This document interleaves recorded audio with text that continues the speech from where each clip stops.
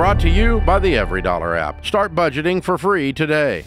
Hi, George and Ken. How are you today? We're having a blast. What's up? All right, guys. Um, so, George, a special thank you first off for you know reaching out to me.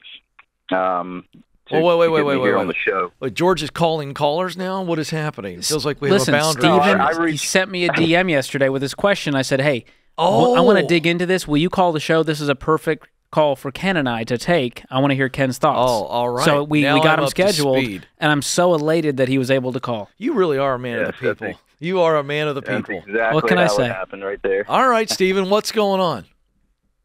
All right, guys. So, um, as I mentioned to George, um, I'm a former uh, lottery winner. Um, I Whoa, whoa, won whoa, a million dollars. A million dollars? Yeah, a million dollars on a scratch ticket um, in the state of Virginia when I was 28. and I'm 36 Nice. now, and I have gone through it all. Um, Ooh. Down to zero. Yeah. Ooh. So I am a part of that statistic that uh, I don't know, 80 or 90 percent of lottery winners lose it. Um, I swore that I wouldn't be, but here I am, and uh, what was your take home? guidance. What was the take home Uh, after take- the? Yeah, 766,000 was what the actual ticket was worth. It wasn't actually worth a million dollars. I know that's what they advertised. Right. Uh, and then I paid taxes on that, so take home was 555. Okay. And over the span of eight years, you drain that 555 in your bank account to zero. Yes, sir. Can you, for the benefit of the listeners and a dark curiosity, can you tell us where that money went? Yeah, so I mean, obviously I bought the ticket, so I gambled to buy the ticket, right? Um, so that that never stopped. Um, was more so with casinos, uh, sports gambling, etc. Um, quite embarrassed by it.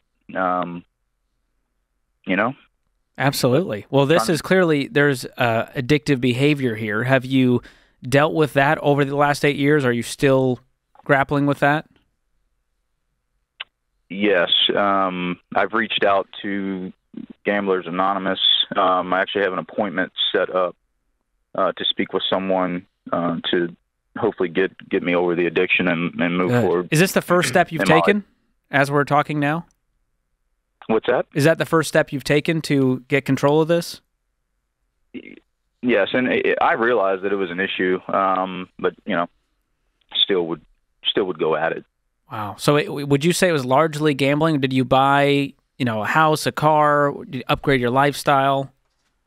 Definitely upgraded the lifestyle. I a little bit. I did buy a new car. Um, I paid cash for it uh, when I won.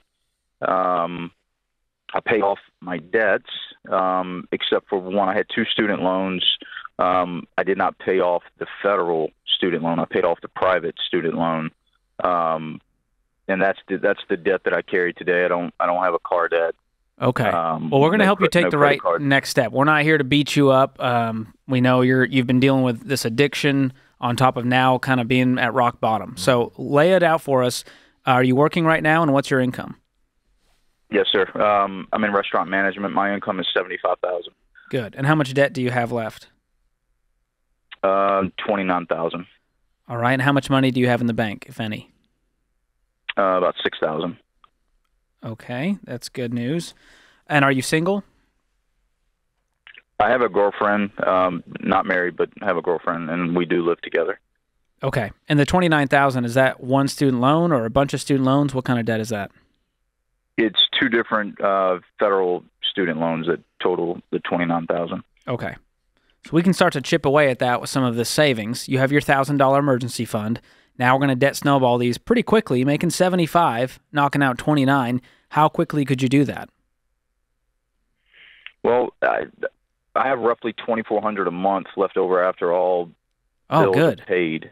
Um, so, you know, divide that into the roughly thirty grand. So what, fifteen months, sixteen months? Yeah, you'll be done with this in under a year. I mean, twenty four hundred a month. That's twenty nine grand in a year. So let's focus on knocking this out over the next twelve months. Then we're going to get a fully funded emergency fund so that you never have to go back into debt again. So you have financial foundation. But the bigger piece is getting our spending under control and getting this addiction under control. Yeah, yeah. I, I don't really spend all that much. I, d- I don't live a highfalutin lifestyle. I just I gamble. you know, and that's that's where it's. Have you have you cut off the the ability to gamble, whether it's your friend group, whether it's the cards, whatever it is that's enabling you to do this? Have you cut those pieces off? I don't really know how to cut. The, I have a couple of friends that that are well aware of what's going on, um, and you know we've spoken in detail and Are they the kind of people that will challenge you, hold you accountable, check in on you? Will you be honest with them? Could you listen to them?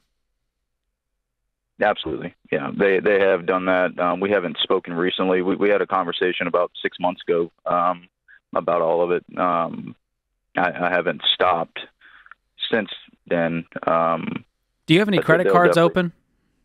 no, sir. Okay. What are you What are you gambling on right now? Is it football or, or what? What is it? Yeah, I'll do sports sports gambling. Um, Is that through an app or website? No, it's just live. Okay. Because the one thing you can do is delete all the apps, delete all your logins, all your payment info for all these sites. You can block these sites too through your browser. Yeah. I think we need to Yeah. put You some self-aware steps in place. Yeah, I think George is right, Stephen. I, I think you have to do that, but you have to have some accountability. Like your girlfriend, like it would be like and Gamblers Anonymous will help with that for sure. It will, but but I think you need to decide today. I I, I I'm not again in any way uh, taking away from therapy or anything else, but I, I I do think you need some accountability, and I would almost treat your gambling like I would a teenager looking at stuff they shouldn't look at on a phone, and I would get the girlfriend involved or a really close friend and set it up to where they set up where there's notifications or something. There's got to be a way to do this, but at the end of the day, you're going to have to just decide can I wean myself off of this? Can I watch? Can I go through one weekend, one weekend at a time? Can I just go through a weekend and not gamble?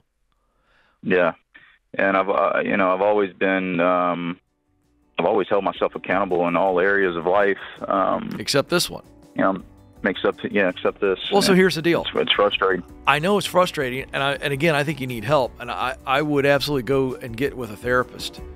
I would. I, I'd make that. Uh, I'd make a couple phone calls today. I think you need to take action on this, and also some accountability. And you know what else? I think you ought to put that competitive fire into making some more money. I'm going to challenge you professionally. What are two or three rungs up the professional ladder for you? Uh, give yourself a challenge to go make more money by growing professionally. Thanks for the call. Appreciate your honesty, Stephen. We're going to walk with you on this. This is The Ramsey Show. Create your free EveryDollar budget today, the simplest way to budget for your life.